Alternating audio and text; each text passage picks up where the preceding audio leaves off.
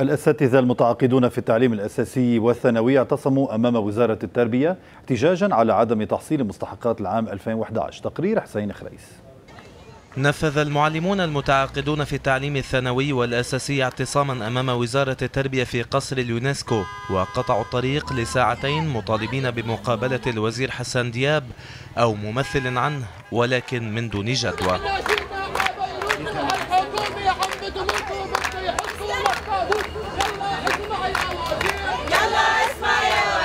الأساتذة الذين لم يلقوا آذانا صاغية اتجهوا إلى عين التين لإطلاع رئيس مجلس النواب نبيه بري على فشل المفاوضات بين لجنة الأساتذة واللجنة الوزارية لكون الرئيس بري كان قد كفل سحب اقتراح المباراة المفتوحة التي قدمته اللجنة الوزارية والذي اعتبره الأساتذة مجحفا بحقهم لأنهم متعاقدون منذ 15 عاما ولأنها ستضم متخرجين جددا قد يأخذون مكان الأساتذة. رسالتنا نحن اللي بنوجهها للناس اللي غيبت موضوع المتعاقدين واللي اعتبرت إنه بهالبلد أنت إذا ما بتكون قوي ما بتاخذ حقك. نحن راح نكون قوية اليوم بأسلوبنا نحن اللي اخترناه ومش طالعين إلا ما ناخذ حقنا. حقنا حقنا أول شيء برفع أجر الساعة. يحترمونا مثل ما احترموا الأجراء أو المستخدمين الموجودين بالمدارس الرسمية الاساسي والثانوي مع فروقاته. حقنا كغلاء معيشي برفع اجر الساعة حقنا ببدل نقل حقنا بضمان صحي حقنا بالمستحقات.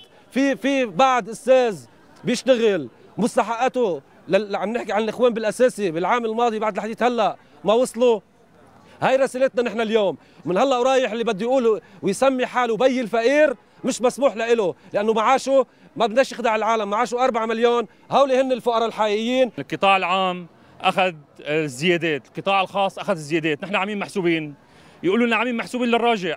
إذا الدولة اللبنانية مش محسوبين عليه يقولوا لنا أي دولة لنروح نطالب عند بحقها. نحن عم نطالب برفع أجر الساعة بغلاء معيشي أعطوه من تسعة اشهر حتى الآن بعد مراجعة الوزير التربية ومستشار وزير التربية من أيلول لهلأ بدها أسبوع الشغلة لتنتهي إسا الأسبوع عنده ما انتهى. قلنا شهرين وأسبوع ما انتهت بعد. ما بدها شيء هي بدها تحويل من وزير التربية لوزير المالية مع الموافقة.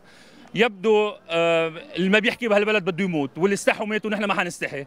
وعند ثانية من بعد الظهر دعا بري الأساتذة لاستقبال ممثلين عنهم. وعلمت ال MTV أنه أجرى اتصالا بوزير التربية حسان دياب وخرج ممثلو الأساتذة من دون الإدلاء بتصريح. وفي وقت لاحق صدر بيان عن مكتب دياب أفاد فيه أن الوزير التقى وفدا من الأساتذة واطلع على المطالب إلا أنه أكد أن إجراء المباراة المفتوحة لن يلغى. وعن نيل المستحقات المالية للمعلمين قال إن وزارة المال أفادته بأنها ستحيل الجداول إلى مصرف لبنان لتحويل المستحقات إلى حسابات المتعاقدين في المصارف خلال اليومين المقبلين.